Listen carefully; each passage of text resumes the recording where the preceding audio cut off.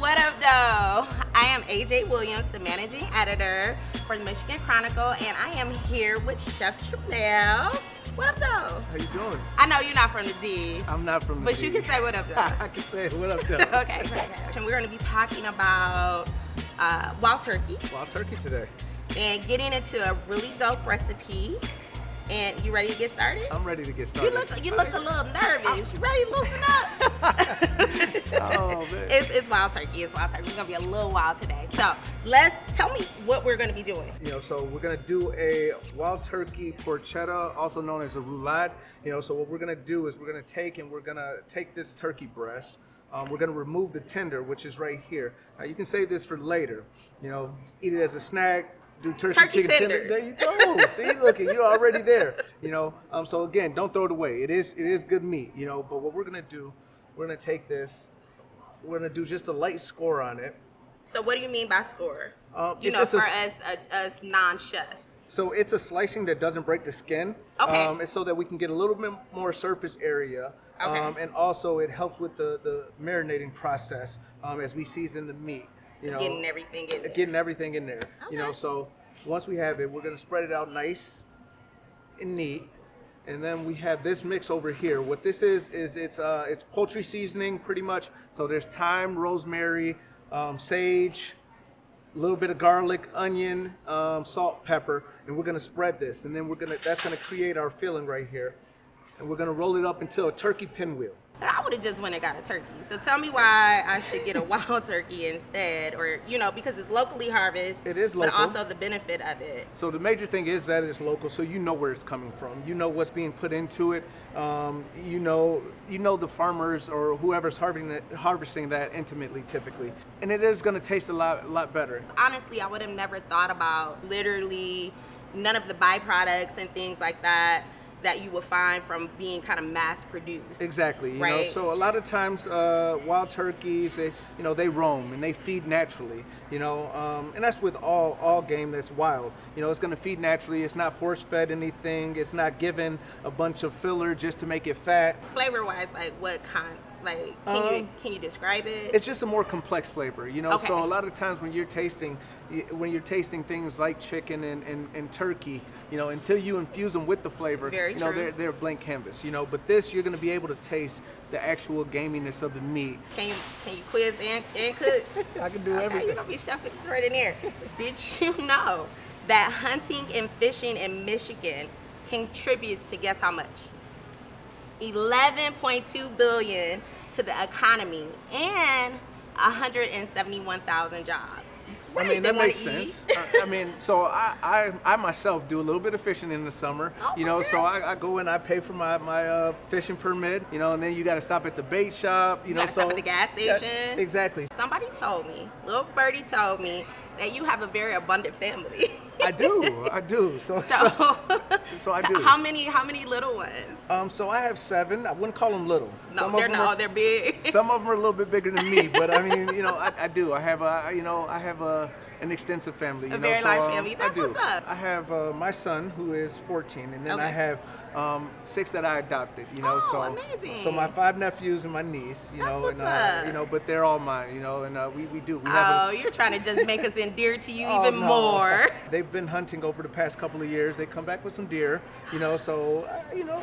Have you done some things with them? Oh yeah, I mean you got to do a little something, you know, whether it's venison stew, you know. Okay, I mean, we did a venison with wildlife before venison chili, so Yeah, yeah, okay. What I really want to know about is how are we going to preserve this from getting dried out? That's always a thing with turkey. so that's the reason why um, we're actually rolling it up into this roulade is because we're actually going to protect the inside. You know, so we got a nice skin on the outside that's going to provide a protective layer. Once we pan sear, we're going to toss it in the oven, come out nice and moist, juicy.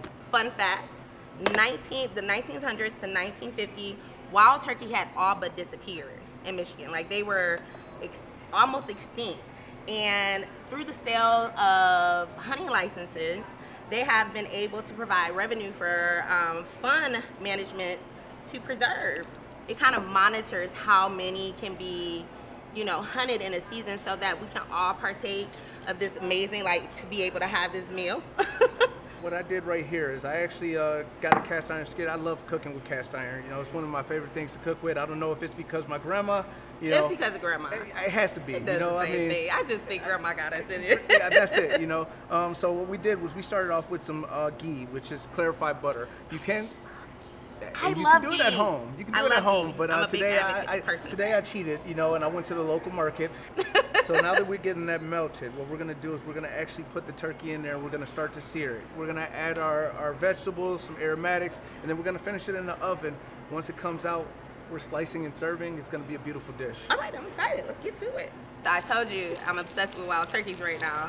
Now there are like 200,000 wild of the bird in like every corner of Michigan I see 'em uh, run- I see over the last 70 years. I do. I see them running So around. So you see them. So I now we're back to I set you up. Okay. So we're gonna go hunt wild turkey, right? Hey, you're gonna go hunt wild turkey. I'm gonna sit in the car and watch. okay, I'm okay. with it. I'll cook it. If you bring it back to me, I'll cook it. Okay, I Fair trade? All right, done deal.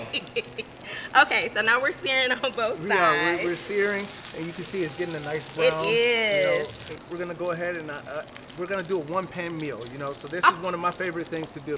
One pan, Yes. less dishes. Yes. you know, we, we got seven kids. You got to worry about dishes anyway. No, so you I'm- have I- dishwashers. They're your dishwashers. But you it's know- fine. For me, single who don't want to wash wash any dishes. I'm One pan. at you. So, all right, we're gonna flip it again right here. Getting nice crispy on the skin. Uh, Yeah, we're gonna start. We're gonna start putting everything Got in. green beans. Some green beans. We got some mushrooms, local mushrooms from What kind of? Um, so these are maitakis. Ooh, you know, so yeah, nice flavorful. They're gonna soak in a lot of the flavor that's going Okay. on in the pan.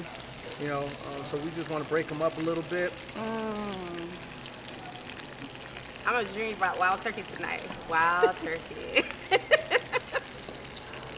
All right. No, people just think, oh, people are just hunting and that's it, or you're just fishing. But how much it actually contributes, not just to the health of your body or your restaurant, but you know, to the economy in general. So that's what's up. All right, we're gonna give this a quick stir. Quick little stir. It's looking real, real, real good, real All right. easy. Got a little salt You over here. do this. Uh, we're not gonna salt bake. I can't do no, you doing Chef. That's Chef it. Trimell. All right, now as this heats up, what we're gonna Okay. do is we're gonna add a little bit of this, this good chicken broth right here. We're gonna deglaze with that. Okay. Bring it up to just a light slimmer, and then we're gonna go in the oven with it.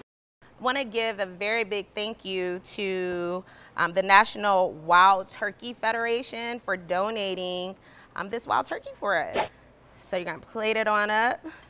Now, what's also awesome um, with the conservation that comes from the revenue from licensing, the Michigan Wildlife Council is a very big thing that there are no, did you know? It's not state taxes. Really? Yeah, so it's its own separate revenue, and we're a benefit of it more than having to contribute as far as like state taxes. I actually whipped together a, uh, a cranberry chutney. This is uh, just something that I think is going to bring a lot of flavor to the dish and pull it all together. All right. I mean, this is also a great idea for. I mean, if you want a one pan for Thanksgiving, I'm not mad at it. I, you know, the highlight can be the wild turkey. Before I, I jump into this, we want to thank uh, the Meijer Bridge Street Market for all of these beautiful um, ingredients outside of the wild turkey. So, you ready? I'm ready. Got to get some get sweet potato, green bean, love lettuce. I'm gonna use your, you mind if I use your knife a little bit? Go right ahead. I'm gonna get Dig in there. get into this a little bit. All right, there we go. Okay.